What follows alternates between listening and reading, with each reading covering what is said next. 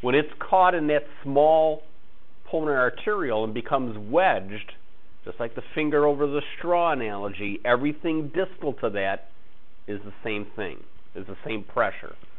So I can estimate this pressure by looking at the pulmonary capillary wedge pressure. Let me go back a half a step and, um, well, let me talk about Starling's law first. This is just showing that as I increase the pressure, I increase the stroke volume and ultimately the cardiac output. There's a, um, it's not quite linear, um, but there is a, a dose response. As I go up on the preload, I go up on the stroke volume and ultimately the cardiac output. The way we measure this thing called pulmonary capillary wedge pressure is by floating a catheter into the heart through the right atrium, through the tricuspid valve, through the right ventricle, and floating it into the pulmonary artery. When it's wedged, that pressure downstream is, is, is reflective of what the left atrial pressure is. So I can ultimately know how much preload I have on the left by looking at the pulmonary capillary wedge pressure.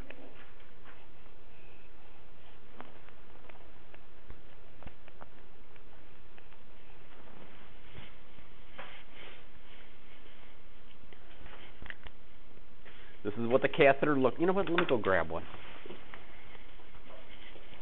probably easier to see if you, if you can see one.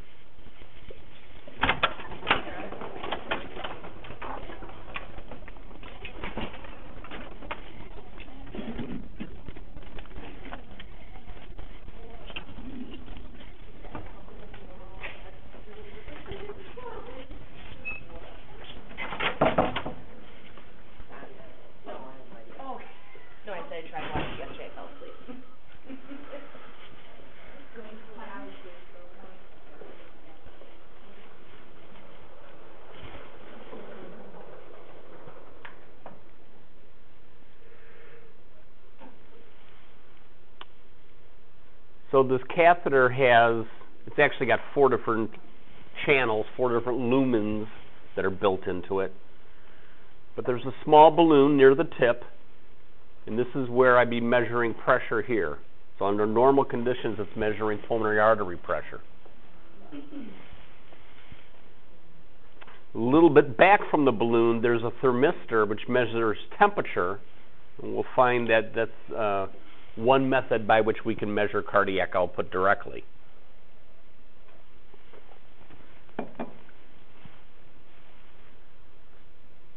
Okay. So here they are floating it into the right atrium, into the, through, the, through the tricuspid valve, into the right ventricle, through the pulmonic valve, and it's sitting in the pulmonary artery. When the balloon is inflated, then it wedges and just like my straw, the pressure here is the same pressure as here during end diastole, just prior to contraction. All the same pressures equate, and that's called the pulmonary capillary wedge pressure. If you ever have the opportunity to see one of these inserted, it's, it's actually quite interesting because you can see exactly where the catheter is at by watching the waveform that they have as the pressures change.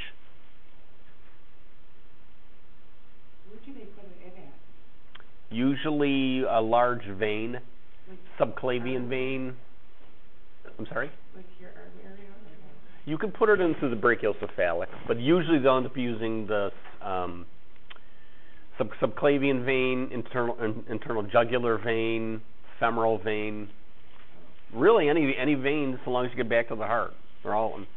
let's face it, they all go back to the heart, right. except for the except for the pulmonary vein, which is a whole separate issue. So look, let's see what, what what ends up happening. Here I've got the catheter just placed into the right atrium. I don't know if you have these slides or not. Doesn't matter if you if you if if you don't. And as you can see in the tracing on the bottom, what I have is basically a low amount of pressure that is present. In fact, it's the lowest pressure in the vascular in the systemic vascular system. Normal value for CVP is 2 to 6 millimeters of mercury.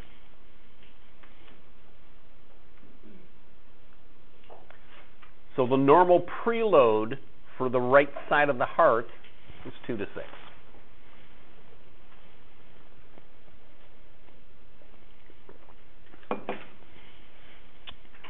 The physician continues to advance the catheter and, pa and passes it through the tricuspid valve, and I now have a right ventricular pressure. And the right ventricular pressure has a systolic value and a diastolic value, where when we looked at the CVP, it was just one value. Am I good so far? Pass through that tricuspid valve, and immediately the picture changes. It's actually quite neat.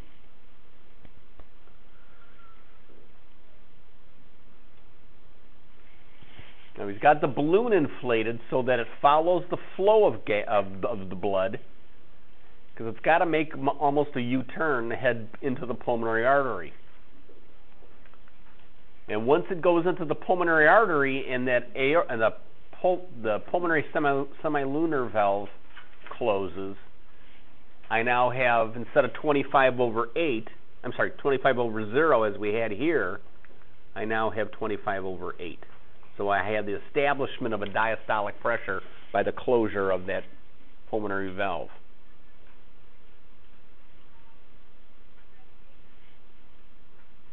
Did we talk about how to calculate a mean blood pressure? How, what, what is it?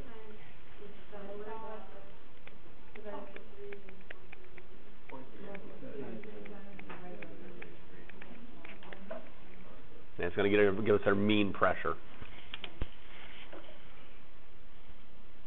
All right. If I keep floating that catheter, eventually it's going to get wedged. And I now have that value that gives me an indication of the left ventricular end diastolic pressure, which is an indication of the left ventricular end diastolic volume or preload on the left. CVP was 2 to 6. This one's 4 to 12. Just double it. Easy way to remember it. Ms. Roberts.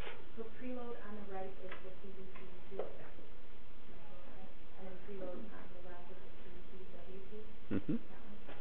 4 to 12.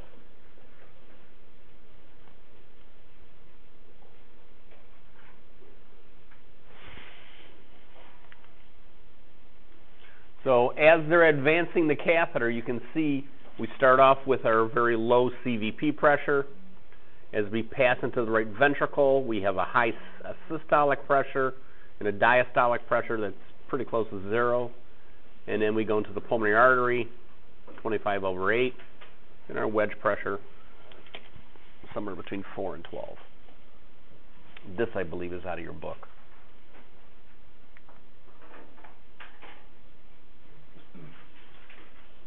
Okay. Are we okay on preload?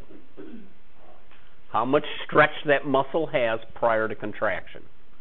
That stretch is going to be determined by how much volume is inside and that volume is going to be reflected by a pressure.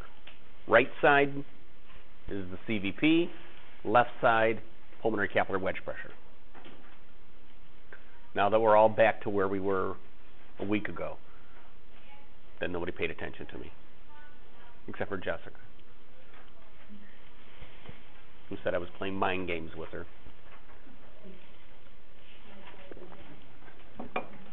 Well, I, I, don't think she used the word games. I could, I could be wrong there. So how much is in that tank prior to contraction is one factor that's going to affect how much ultimately is pumped out. A second factor is how much work it has to pump against. What is it pump? What's downstream to that ventricle that it's got to push the blood against?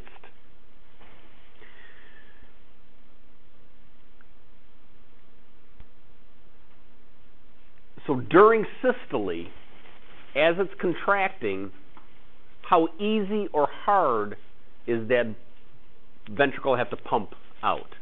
I said that terribly. Let me try that again.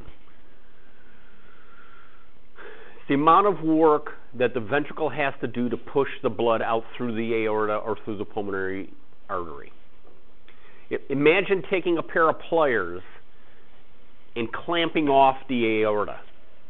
You now have increased afterload. You now have increased the work that ventricle has to pump against.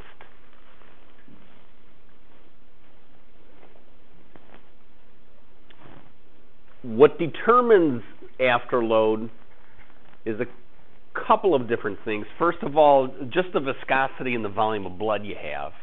If I have blood that's got uh, that's very thick, very viscous, it's going to be very hard to pump. If I have blood that's a little more watery, it makes it easier to pump. And we'll talk about what would control that at some other point. Um, damage to the aortic valve is going to affect how easily or hard it can pump blood out. But the major component is something called vascular res re resistance. And this is determined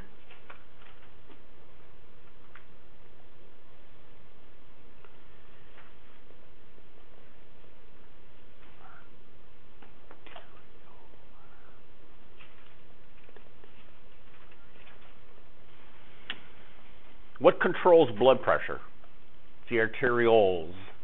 They're the ones that regulate how how much muscle contraction is, is present and how much blood flow is able to get through. That's what we're talking about. The vascular resistance. What's it got to push against?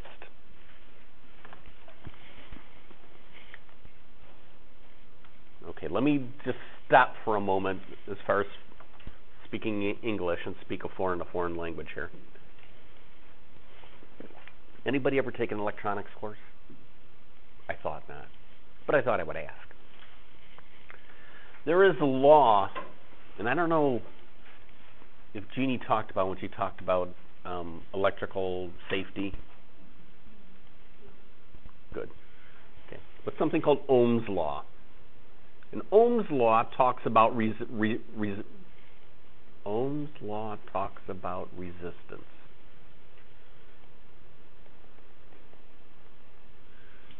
We've already learned that resistance is a change in pressure over the flow rate. Airway resistance, specifically. That same relationship between a pressure differential and flow, I want to find the man who designed this building and I want to shoot him. Who would put tile as a flooring. Really? That was back in the day where we didn't have carts, where we had real thin books. And we had backpacks. All right, so resistance is a pressure drop over a flow rate. And it's true whether we're talking about airway resistance or we're talking about resistance that the blood has as it's being pumped. In the case of vascular resistance, it's a pressure from a high point to a low point. What's the highest pressure in that circuit? What's the lowest pressure? And the flow is nothing more than the cardiac output.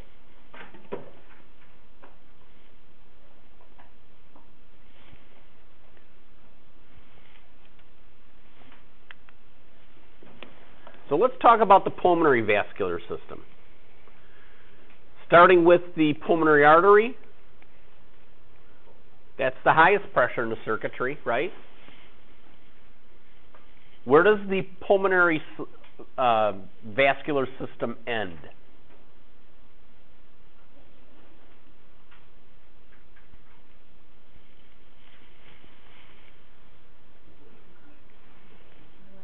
Yeah, left atrial. Or we're going to use a surrogate the wedge pressure.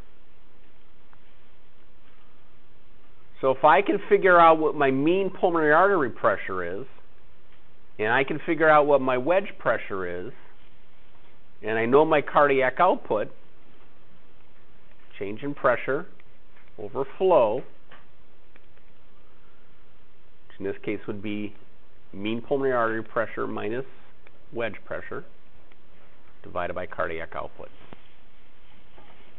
I know I now know my pulmonary vascular resistance.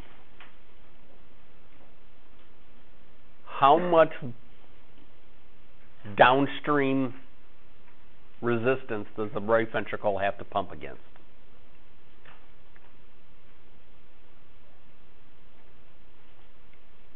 How much squeeze of the pliers do I have on that pulmonary artery? What's it got to push against? And we multiply this all by 80 because this is in millimeters of mercury, this is in liters per minute. Eh, it's got a weird combination of, of units there.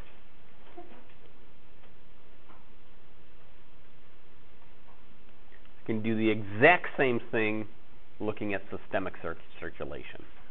Highest pressure that you'll end up having is your mean arterial pressure.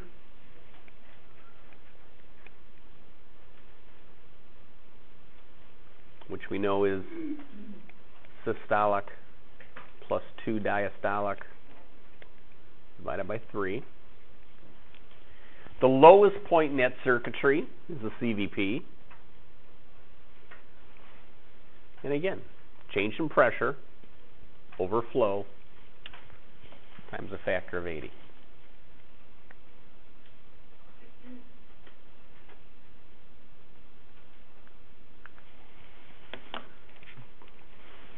You want to work work through one? Let's say my blood pressure was 120 over 80, just to make numbers nice. Um, our CVP, let's say, is um, 6. And my cardiac output is uh, 4 liters per minute.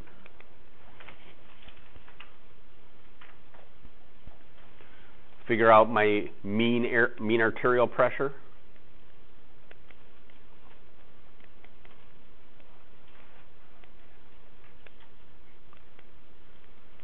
Hundred and twenty plus one hundred and sixty over three, two eighty over 3,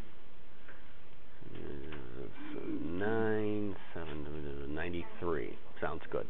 Ninety-three point three. Okay.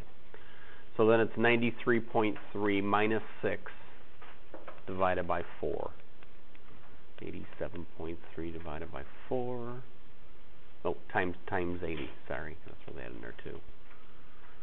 So 87.3 times 20, whatever that works out to be. 1600 or something. Pardon me? 1800. Ish. Ish. Where did the four come from? Cardiac output. What, did you four point four? No. I'm my measured cardiac output is four liters per minute. So I'm just going to divide that Oh, whole. that looks like a four. It looks like a four when you're looking at. The L. Oh, the liters per minute. Maybe if somebody could write for you know. In this kind of situation with the blood pressure and the CVP and Yeah. the COP, like given values, or would we, No, they would all be given to you. they would be? Yeah. Okay.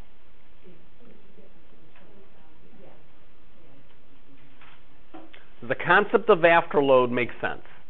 Preload is how much I put in the tank to begin with. Afterload is how much it's got to pump against. They're both going to impact how much blood is e- is e- is ejected. Third one. It's called contractility.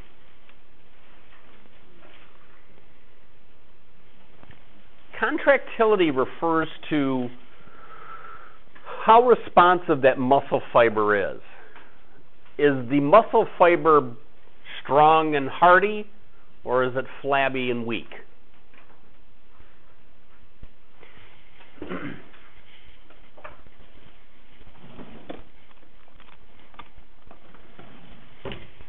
Is my rubber band wimpy or strong? Okay, going to impact. So for a given amount of stretch, something that's got a high contractility is going to generate a bigger stroke volume than something that's got poor contractility. We call this inotropic. It's a fancy word for meaning how much oomph you have. If I have a high inotropicity, I have more oomph, I have a bigger amount of contraction for a given preload. Go ahead. You got a question, Jason? It is compliance. It i- you are 100% correct. It is a pressure volume relationship that is basically looking at how stiffer or limber they are. Why can't they? Because cardiologists and pulmonologists don't talk to each other. Got it. But it is that. If you have a reduction in compliance of the left ventricle, I have a stiffening of the left ventricle, it's not going to be as effective. Yeah. There are drugs that we can give that have a positive inotropic effect.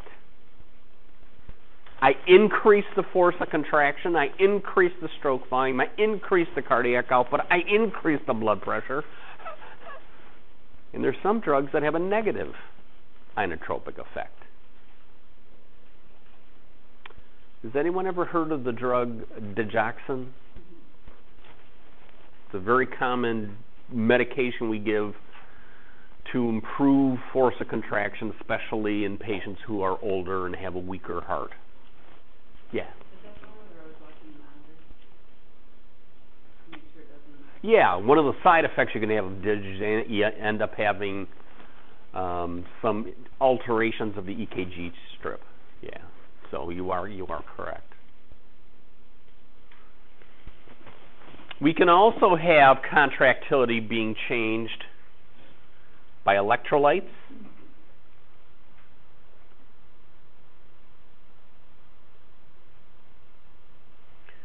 So somebody who has perhaps um, uh, let's say, a, a, a reduced potassium level, hypokalemia, they'll end up having some alterations in their ability to, to generate a good cardiac output because it affects the, the um, muscle contraction. The biggest one, though, is this one. When I have, well, hopefully I don't, but patients who who have a heart attack, a myocardial infarction, infarction implying death of tissue.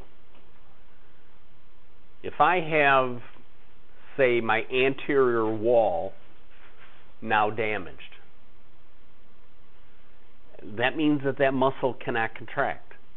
If that muscle can't contract, I can't generate stroke volume simply because it's lost contractility. So would that be a negative? It would have a negative inotropic. Right. There, the inotrop, the inotropic effect of the left ventricle is reduced. Right, so I just didn't, so positive is you have a lot of, Negative, you, is you, don't have enough. that's correct. So that would be hypertrophic, right? Wouldn't it be hypertrophic? Isn't that like the same? No. No. So when you have a lot of heat, does that mean your force of contraction, does that mean it's, it's just stronger? It's stronger. Yes. Stiffer? Not, no, no. Stiff would be bad. Okay. Yeah. We don't want stiff because stiff implies that it doesn't move much, Okay, and we want a muscle that's going to contract okay. easily. Okay. Preload, afterload, contractility. And kind of like we, we're looking at um, compliance of the lung, same idea here. As we improve contractility, we get more cardiac output for a given amount of uh, preload.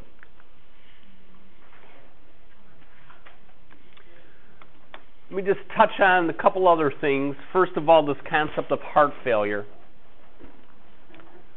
Um, and we can really talk about each ventricle itself failing. Um, to be honest with you, when one fails, the other one is right behind it. So it's really which goes first, the right or the left. Right heart failure, we're going to encounter quite frequently. Patients who have who have uh, pulmonary disease frequently will end up having right heart failure, especially as we get towards the end of the course of life. Okay.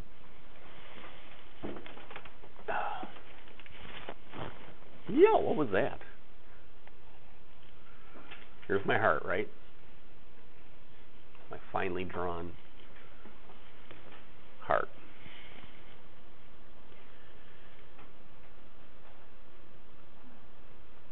It's my pulmonary artery.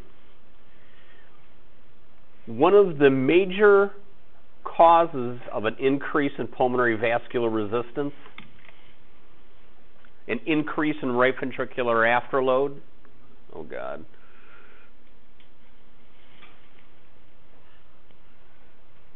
Is this very potent vasoconstrictor. The body's response to hypoxemia is to clamp down the pulmonary vasculature. Why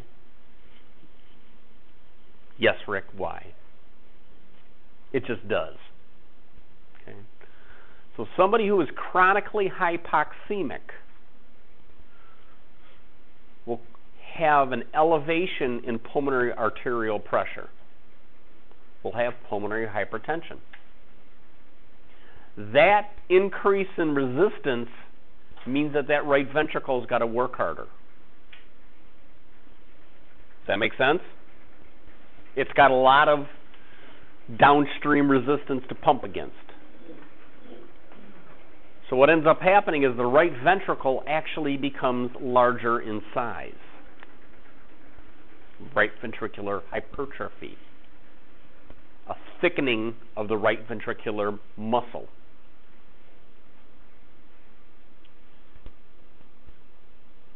Because blood can't be pumped out of the right ventricle, or it's reduced in the amount that is, it backs up. Where does it back up? Backs up into the right atrium. Backs up into the inferior and superior superior vena cava. Backs up into the periphery.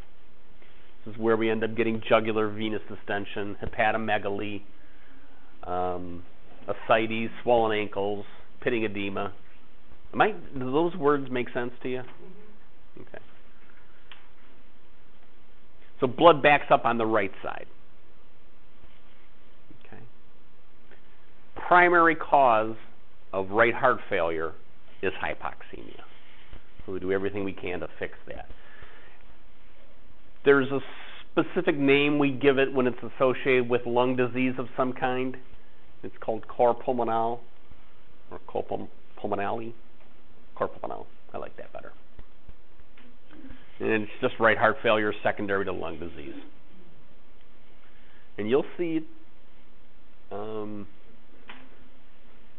frequently with patients with COPD or kids with cystic fibrosis or something along that line. Because of the chronic hypoxemia, they end up with right heart failure. Left heart failure. Yes.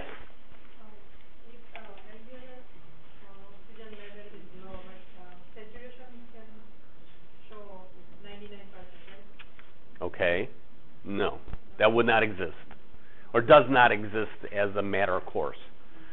PO2 and satura- saturation, uh, there's a relationship with them that we'll talk about next module.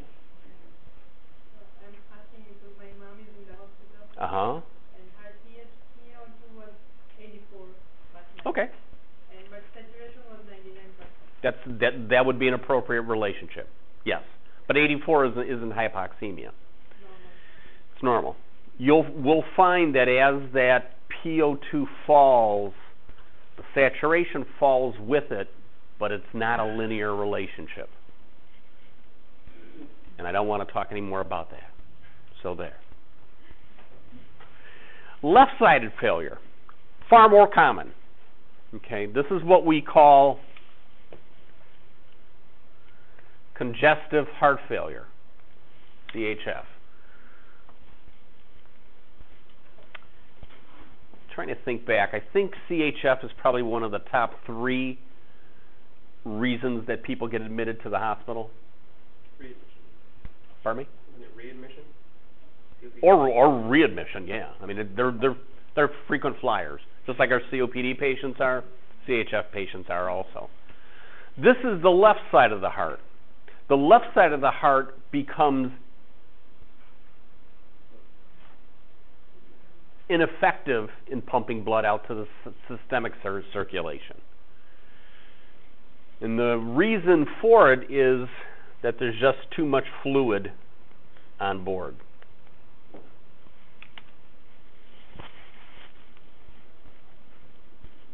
There's too much volume of fluid. And where what it then does is because it can't pump out the left ventricle, where does it go? It backs up into the lungs, backs up into the left atrium, backs up into the pulmonary veins, backs up into the lungs. And what actually ends up happening is that the fluid eventually moves out of the vascular space and moves into the alveoli and floods them. What we call pulmonary edema. Okay. Distinction between the two okay?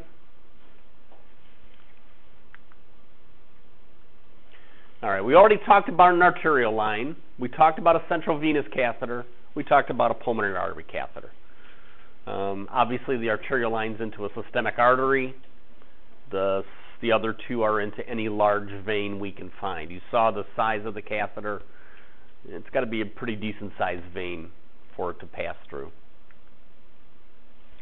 And again, where this would ultimately lie, if we're going through the subclavian vein, going through the internal jugular, it's going to eventually end up in that right atrium area.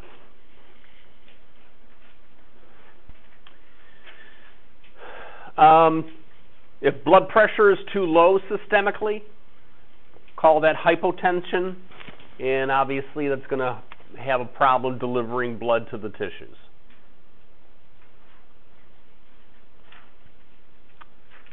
High blood pressure is just as bad as low. Because with a high blood pressure, you got a lot of resistance the heart's got to pump against. You're going to weaken and strain that heart.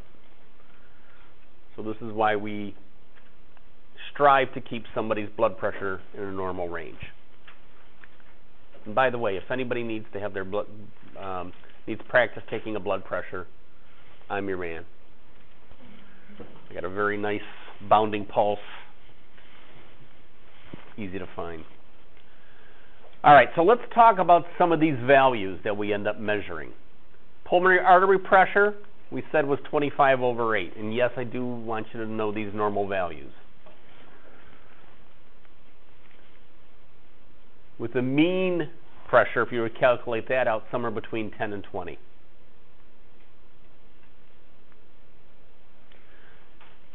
If that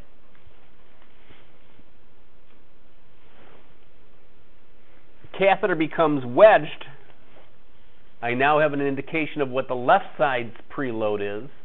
That's 4 to 12. Once the blood exits the left ventricle, pumps through the aorta, I have a blood pressure. Normal value 120 over 80 with a mean value of somewhere between 80 and 100. Passes through the systemic capillary system, comes back to the right side of the heart for our CVP of 2 to 6. And those are all in millimeters of mercury, obviously.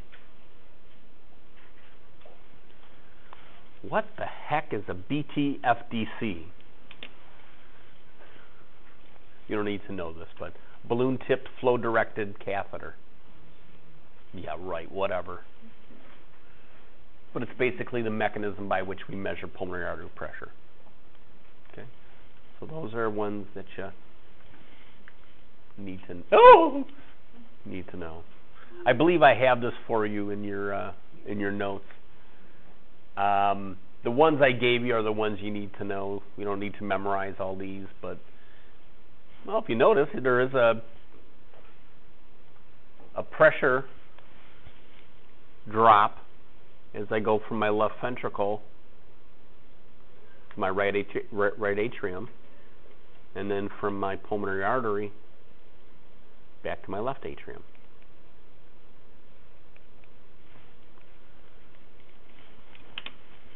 There's got to be a pressure differential, otherwise the blood wouldn't flow.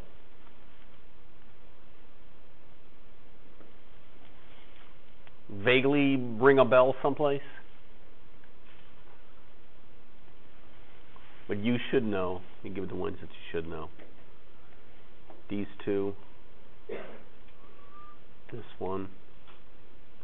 This one. Well, with it with its mean value. And this one. Those four that we drew here.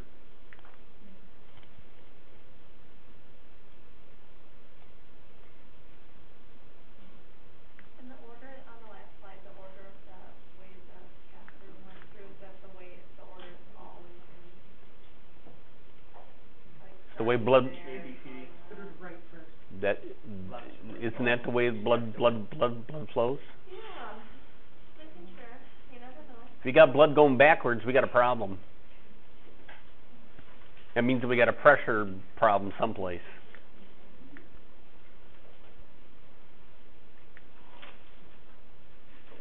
Okay, let me take a five minute break here. Go ahead and start back. How cloudy is this? Pretty cloudy still?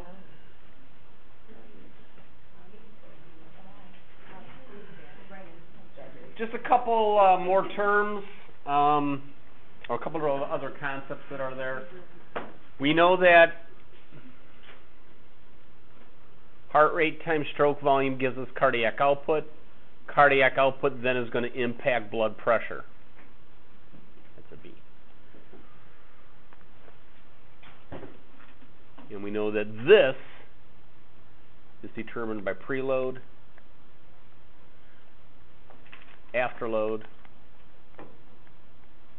and contractility.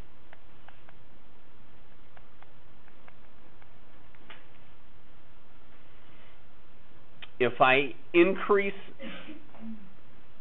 the amount of blood that's in the system, in theory, I should increase the stroke volume, increase the cardiac output, increase the blood pressure. That's BP. Hypervolemia means there's a larger amount of volume of blood present in the in the vascular system. Hypovolemia means that I've lost blood, lost circulating volume. So if I take Sherry and I cut off her arm, she bleeds all over the floor, she will become hypovolemic. Volume. Volume of blood. Volemia. The body is going to respond to this fact that I have a reduction in preload because I cut off her arm by trying to increase blood pressure back by vasoconstricting. Her body senses her peripheral, I'm sorry, her baroreceptors in the aortic arch and um, common car- the carotid artery are going to sense a reduction in blood volume, a reduction in blood pressure, and say, "Ho, hey, we got to get blood pressure back up." Well, what can it do? It constricts those arteriolar vessels peripherally, trying to compensate and get blood pressure back up again.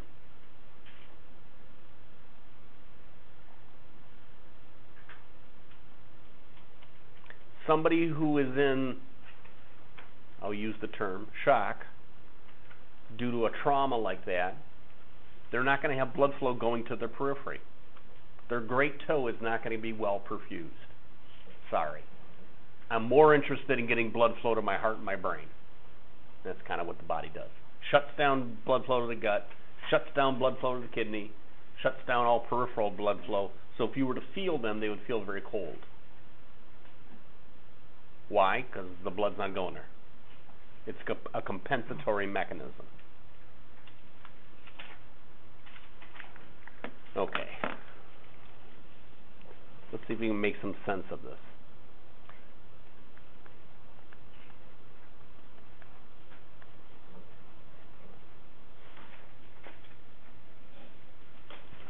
What happens if I have a reduction in preload? As we just said, we end up having an increase in afterload to try and compensate for it. The body will also try and increase contractility.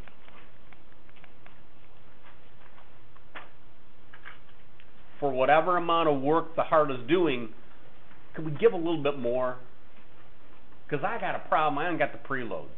Notice it's using the other two to try and compensate. How do I fix this? Other than sewing her arm back on.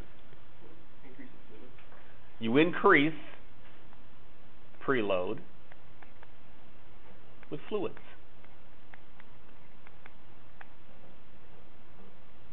With blood.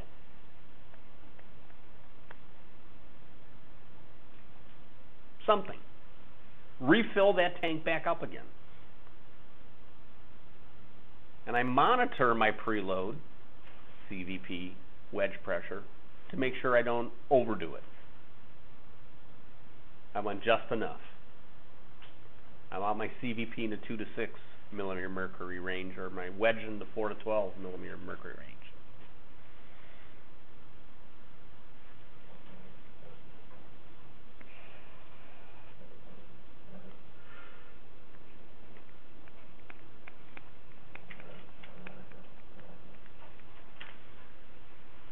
Somebody loses their ability to control their vascular pressure. See this with some types of, of uh, severe head trauma where the connection between the brain and the periphery is is impaired. It's called neur- neurogenic shock. Um, spinal cord injuries. They don't the the control of blood pressure goes away. What does the body try try try to do? Make a guess. What's it going to do to preload? It's going to try to increase it. How does how is it going to try to increase it? Can the body regulate blood volume some way? Well, it can't. It can't vasoconstrict because it doesn't have the ability to control it. Yeah. Yeah, it reduces urine output. It's one of the functions of the of the kidney, right, to regulate blood volume. And it will also try to increase contractility.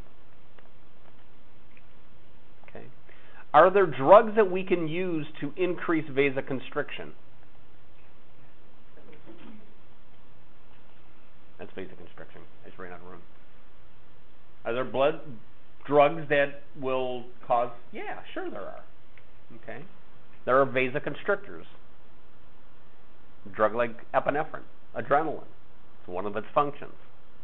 Okay. What about if I have too high of an afterload?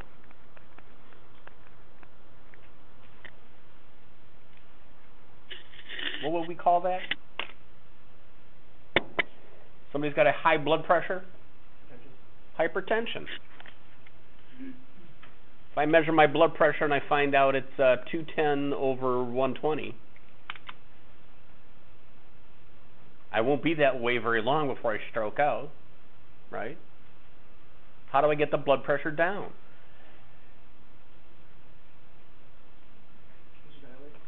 We vasodilate.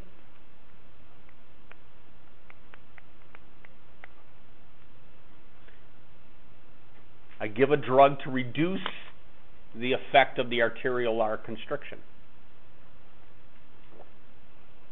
Any of your antihypertensive agents try to accomplish this. And there are multiple ones we'll talk about. Can do it by no, I won't go there. There's multiple ways that we can control blood that we try to reduce the blood pressure. One of which is to decrease the preload through something called a diuretic. Promote urine output, reduce the preload, reduce the blood pressure.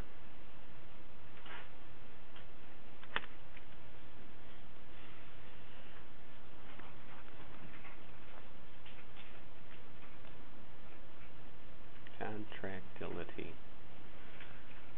Whatever that is.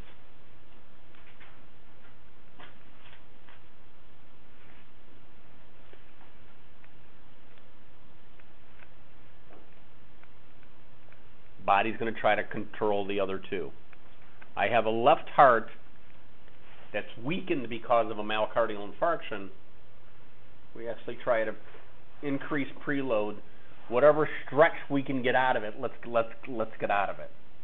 Because I know that it's not pumping really hard, but let's maximize preload. Well, that was pretty stupid. How about afterload? It's going to also try to vasoconstrict and increase whatever it can pump, which is kind of stupid when you think about it. If I have a ventricle that can't pump really hard, and I'm clamping down, that's actually going to make matters worse but that's the way the body compensates for it. Yes. So if one of them is up, the other two would be down, and vice versa, is it always that way? Kind of looks that way. This middle column is basically the way the body tries to compensate. This is what we can do. Okay. We'll come back and visit this as we get more into um, uh, some of the pathology, especially when we talk about myo- myocardial infarctions next semester. My this is my poor attempt to try and piece these together. Yeah. What are some things we could do, um, for the contract? Oh. Thank you. That's a C. Inotropic agents.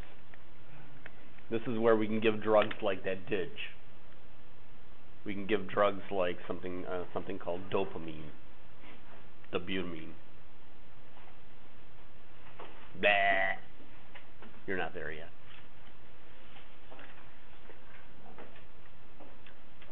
Should be familiar with this, how to calculate mean blood pressure. We didn't have it on the last test, we'll have it on this test for sure. One last concept, I promise. Do you guys think that um, Ashley and Najee's cardiac outputs are the same? Why? They're different size, different genders, different ages. So what we can do, even though they may have different cardiac outputs, I can standardize them by looking at their height and their weight. Saying how much body surface are we talking about? And we call that indexing them. And what we use is what's called a Dubois nomogram. Very fancy name. And I go ahead and I look at somebody's height. I look at somebody's weight. I draw a line between the two. So let me just see if I can do this here.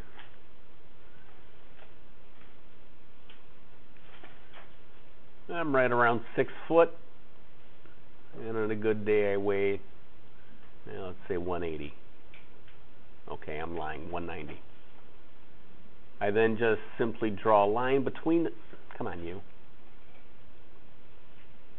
Draw a line between the two, and wherever they cross, that's my body surface area. This is measured in square meters. surface area in, in square meters. So if I measured my cardiac output as six liters per minute, and I knew my BSA, let's say, was two, my cardiac index then is that 6 divided by 2 or 3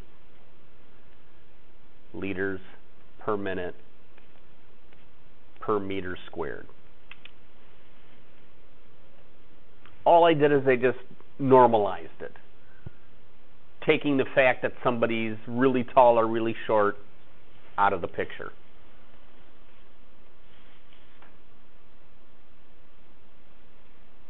So the little 90 year old, 90 pound woman, I can standardize that and say, boy, her cardiac output is low, but you know what? She doesn't have a lot of body to circulate it around to, so her cardiac index is within the normal range. And we can do this to really any of the values that we measure, where cardiac output is, is a component of it. We can do it to the stroke volume. We can do it to the, any of the vascular resistances. What I would anticipate for a test question is I would give you this. I could ask you what the body surface area is for a person who's this tall and this weighs this much. I could ask you to calculate a cardiac index given the cardiac output is this and the person's 5'10 and weighs 140 what's the cardiac index. So you would have to figure out the BSA and then apply it. Something along that line. Okay? Just a way to standardize values.